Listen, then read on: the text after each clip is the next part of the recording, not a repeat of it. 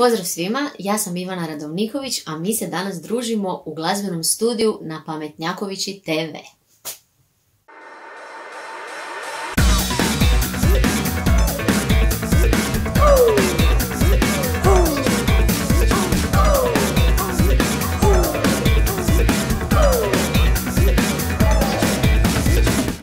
Me djeca pitala kada ću napraviti nešto baš posebno za njih. I moram priznati da voljela sam pisati te dječje pjesme i još ko mala za svoju mlađu sestru sam za dječje festivale pisala baš isključivo dječje pjesme. Neke od njih, eto, dobile su čak i nagrade na nekim dječjim festivalima. Bajke u pjesmama su jedna edukativna i zabavna slikovnica koja ide i uz glazbeni CD. Ta slikovnica u stvari je ilustrirana na način da prati ono što se događa u samim pjesmama, a pjesme govore o najpoznatijim bajkama svih vremena. Tako ćete unutra pronaći priče poput Crven kapice, Snjeguljice, Petra Pana, Pinokija. Inače, slikovnicu sam ilustrirala ja. Inače, jako volim crtati i cijeli život nešto crtkam, pišem i slično. Ali nikad nisam skupila dovoljno hrabrosti u stvari da baš se upustim u nešto tako kao što je crtanje slikovnice. Vjerujte mi, bio to pravi izazov. I trebalo mi je neko vrijeme u stvari da mi se ruka ponovno vrati u taj nekakav... E, rekla bi, u tu kondiciju da uopće nešto smisleno nacrtam.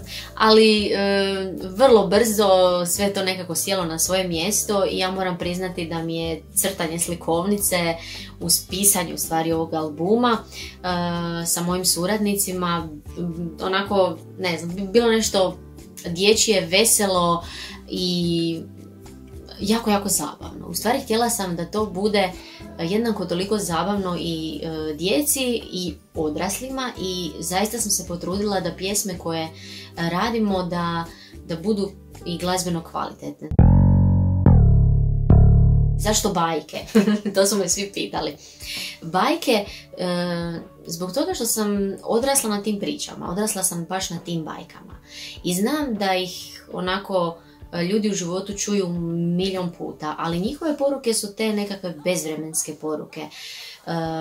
poruke koje vas uče da e, trebate pomagati drugima, da budete nesebični, da budete dobri, da budete hrabri.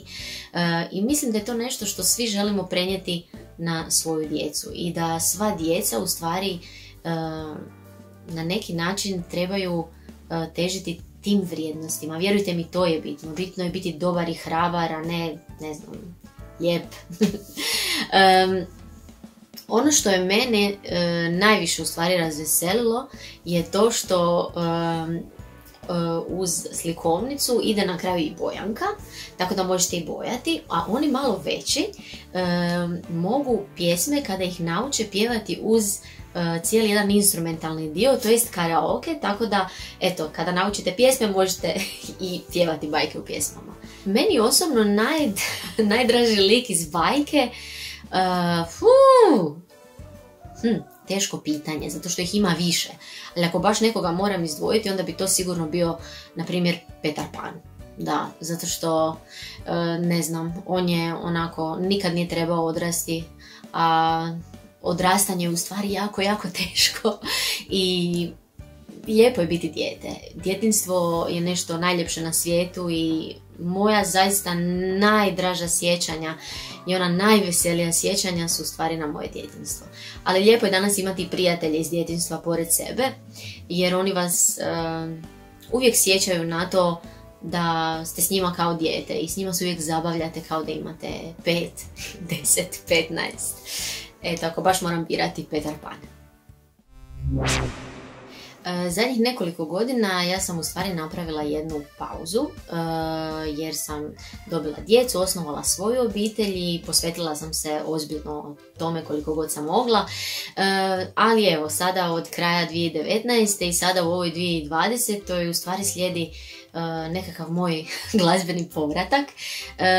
Već su dva singla izašla vani, Lavine i Pantišli koji, eto, meni nekako su jako, jako dragi i odlučila sam da oni budu baš prvi i predstave u stvari ono što slušatelji mogu očekivati od mog šestog studijskog albuma, e, kojeg eto jedva čekam i ja se nadam da cijela ova 2020. neće poremetiti te planove e, s obzirom kako je krenula, ali eto, to je nešto čemu se jako veselim, moj autorski album i evo, nadam se da kad bude prilika da ću vam ga predstaviti isto ovdje. A sad na kraju da proglasimo pobjednike nagradne igre. Mislim, evo ovako izgleda slikovnica, unutra ide album Bojanka. E, nije bilo lako, vjerujte mi, nije bilo lako zbog toga što e, teško je sad odlučiti onako tko je imao najbolji odgovor e, o svom najdražem liku iz bajke. Tako da ja ću morati odabrati dva odgovora, jer evo, Dallas Records poklanja ove dvije slikovnice albuma. I e, ja sam izabrala jednog Petra Pana, a to je e, dobitnica je Maja Čela. A također odabrala sam i crven kapicu e, i to ide u ruke Tijani Krobar Srakić. Evo ljudi, čestitam, hvala svim ostalima koji su ovaj, sudjelovali i napisali nešto. bilo bi lijepo da imamo slikovnice za svih, ali evo, ja se nadam da prvom prilikom kad ih uh, nađete u nekom music shopu na internetu ili na uh, tisku, demu, svuku da ih možete naći, uh, evo, nadam se da će vam se svidjeti. Do tada možete poslušati nešto od njih i na YouTube. Ja vas puno pozdravljam, hvala vam što ste sudjelovali, što ste me gledali, što ste mi ostavili komentare i šaljem vam puno, puno pusa i Želim vam da vam život bude kao jedna lijepa bajka sa sretnim završetkom.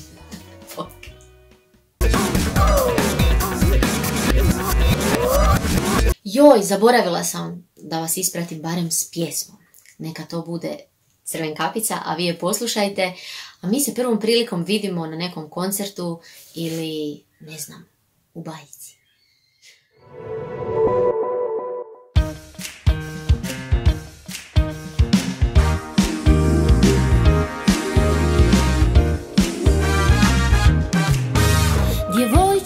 Malena. Crveno kaputića Mamici je mahnula. Šumom se uputila. Cvijeće putem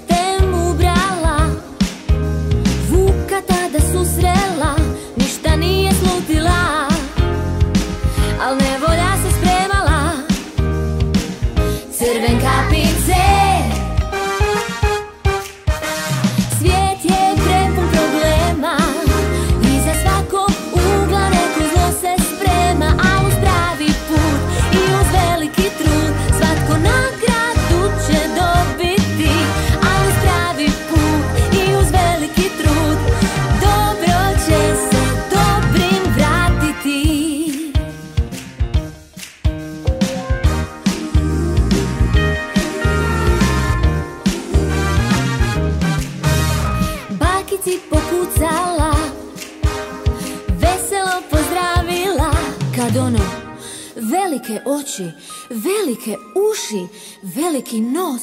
Ma u čemu je štos? Velike oči, velike uši, veliki nos. Njam, njam, njam, u tome i U to u pravi čas, lovac začu glas. Pomoć se sprema sad